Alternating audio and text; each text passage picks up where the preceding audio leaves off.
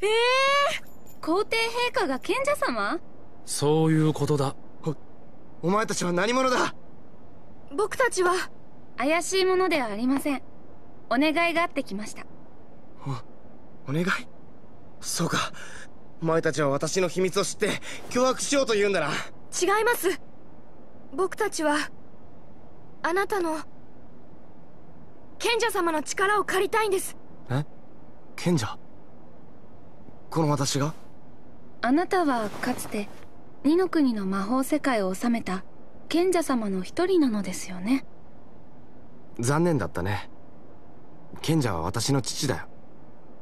父は15年も前に死んだ。その力をあなたは引き継いだはずだ。私が賢者の力を？なあそういうことにしておいただけさ。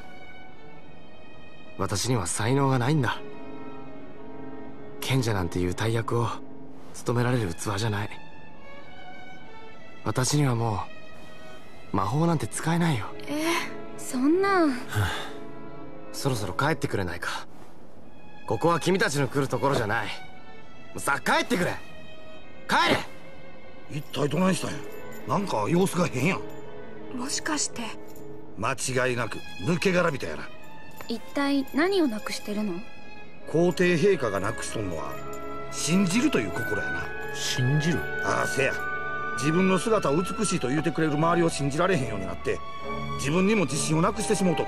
つまりあらゆるものを信じる心をなくしとるっちゅうわけや。あれで皇帝とは笑わせる。皇帝なら皇帝らしくどっしり構えてほしいもんだな。じゃあ行こう。信じる心を探しに。うん。世話の焼ける皇帝だ。では皇帝陛下失礼します。